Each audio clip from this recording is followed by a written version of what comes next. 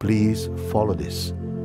For years and years and years, I am sharing these things, and it is just as fresh today. Stay with it. If you listen and you follow, tomorrow you can show me the fruits of your understanding. This is how effective, and I stand by what I'm sharing with you.